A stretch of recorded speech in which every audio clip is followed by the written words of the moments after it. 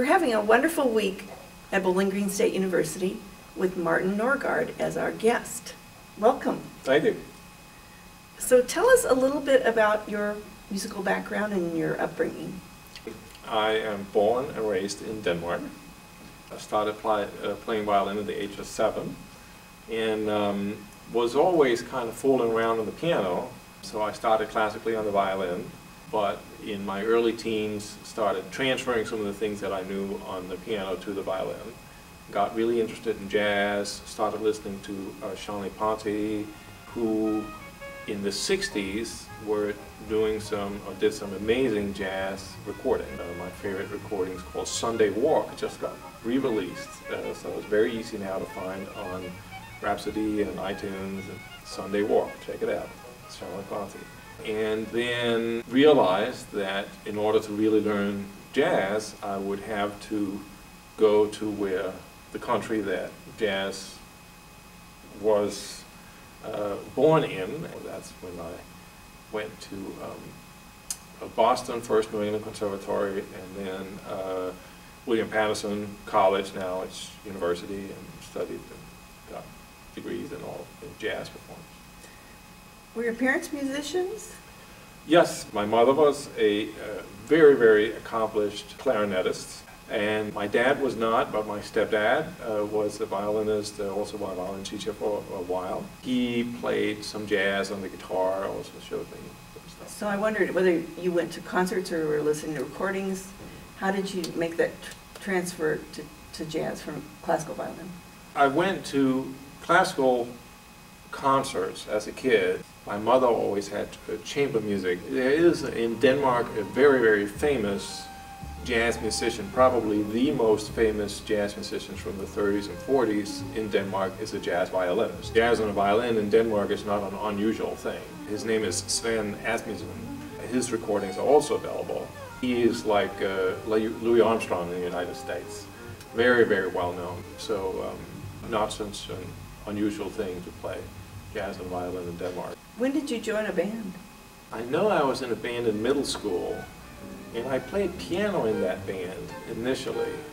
And then I played some violin in that band. I switched back and forth. I was in a garage band throughout my teenage years, I think. Tell us a little bit about your studies in the United States. I was incredibly fortunate uh, to end up at William Paterson uh, College, where uh, some of the top jazz musicians from uh, New York City would come out and teach in my actual combo was Bill Stewart, who is now a very well-known drummer.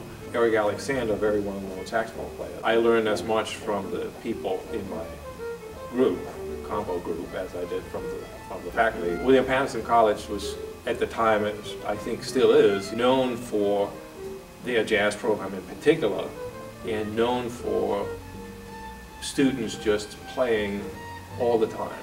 If you read about how the first generation jazz musicians learned, that's how they learned. You know, they would sit in and just play and play and play and play. And I think sometimes today we have kids in, in jazz theory classes that they learn the theory, but they don't have this oral experience of just sitting in and, and, and learning the music.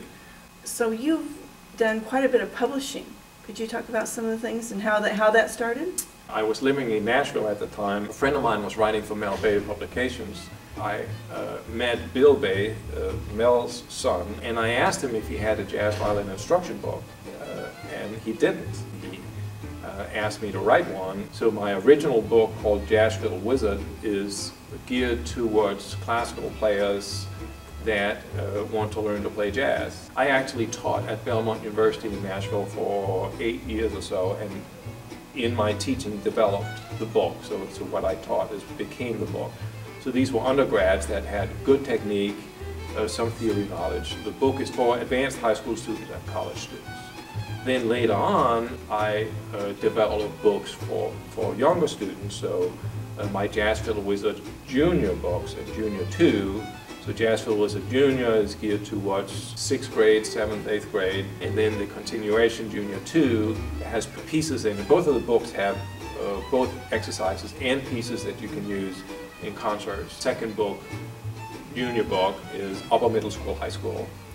And then the last jazz book I wrote was, uh, is called Getting into Gypsy Jazz, where I analyzed uh, lots of Stefan Grappelli solos and pulled out principles uh, that I then turned into exercises. So there are wonderful books out there with uh, Grappelli transcriptions, where you can just read the solos, but I felt that there was a need for uh, exercises that really get people improvising.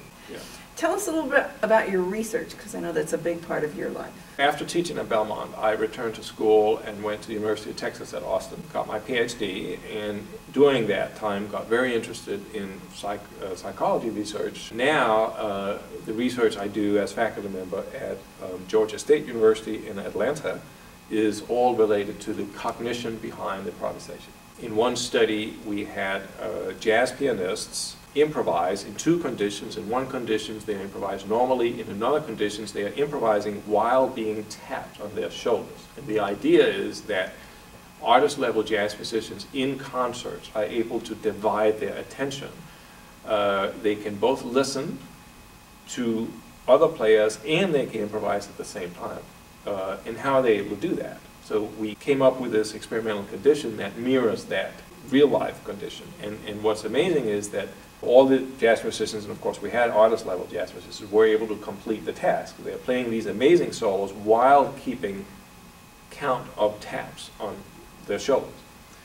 But what we found was that if in the conditions where they're having to count, they use more patterns.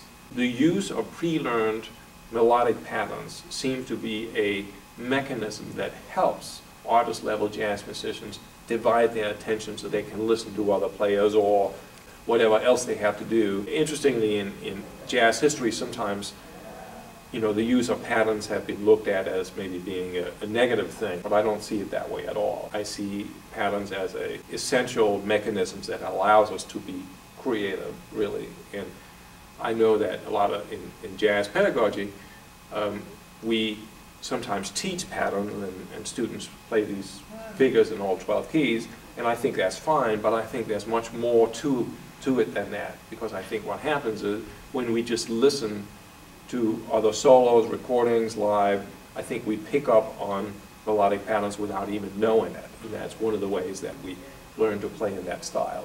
So this is your first time to Bowling Green State Yeah. University, and, and you really had no expectations uh, No, from me. So what do you think? It's great, but it's very cold. yeah, it's very cold. Yes. You know, I, I, I have, so far a wonderful time, and the students just amazing. I mean, we just had one of your grad students that was just able to pick up stuff faster than I could throw it at them, which was Well, great. certainly fun. faster than I could have processed. So, So I'm looking forward to the next couple of days. well, we are glad to have you. Thanks so much for coming. It's my pleasure.